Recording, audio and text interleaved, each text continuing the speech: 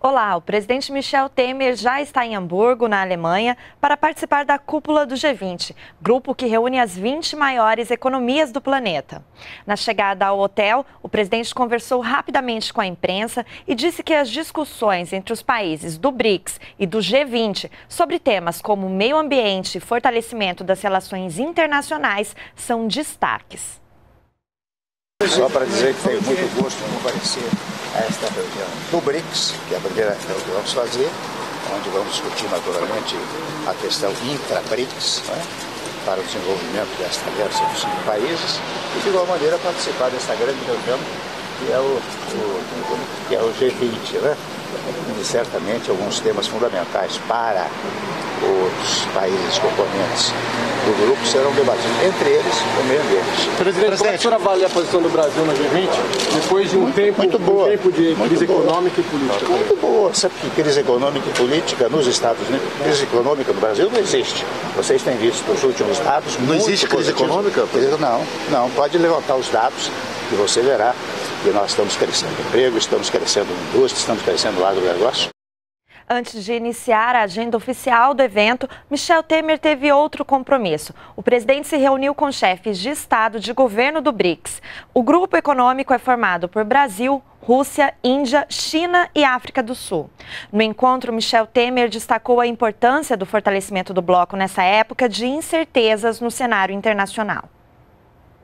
Quero começar, senhor presidente Xi Jinping, por cumprimentá-lo porque a presidência de turno chinesa tem garantido continuado dinamismo ao BRICS, em momento global marcado por persistentes incertezas. É, neste cenário desafiador, a mensagem que o Brasil traz a Hamburgo é de responsabilidade e abertura.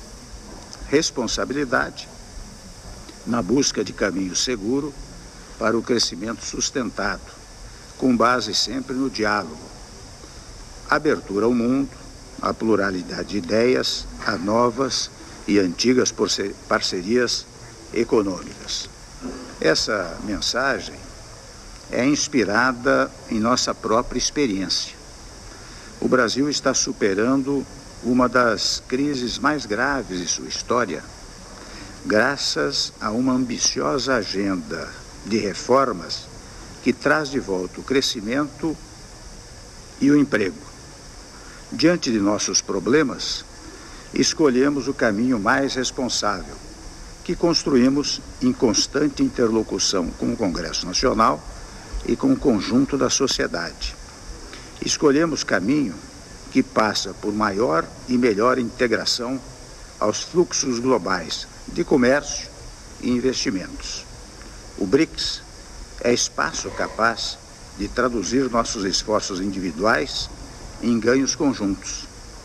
É exemplo do quanto se pode alcançar com disposição pragmática na busca de resultados tangíveis em favor do desenvolvimento, em favor do bem-estar de nossos povos. O novo Banco de Desenvolvimento e o arranjo contingente de reservas mostram de modo concreto o que podemos fazer juntos. São conquistas que temos de consolidar. São conquistas que firmam o BRICS como fator de estabilidade da economia internacional. Nesta cúpula, cúpula do G20, ainda mais do que em ocasiões anteriores, será importante que o BRICS se apresente ao mundo de modo firme e coeso. Será importante que renovemos nosso compromisso com o sistema multilateral de comércio e, naturalmente, com o êxito da Conferência Ministerial da OMC em Buenos Aires. Será importante que renovemos também nosso engajamento no combate à mudança do clima e na implementação do Acordo de Paris. Será importante, enfim, que renovemos nossa determinação em transformar a Agenda 2030 em práticas e políticas efetivas. Este encontro é demonstração evidente do vigor do nosso grupo, da vitalidade de nosso constante exercício de concertação. O Brasil atribui elevada prioridade ao BRICS. Vemos a cooperação intra-BRICS como valioso instrumento para multiplicar oportunidades, não apenas na área financeira.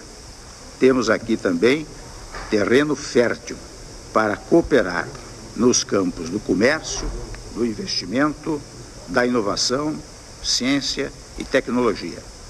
Estou certo, uh, seguro, aliás, de que a cúpula de Xiamen representará mais um importante passo no aprofundamento do BRICS. Os amigos chineses e os amigos dos demais países integrantes do BRICS podem contar com todo o apoio e todo o entusiasmo do Brasil. Muito obrigado.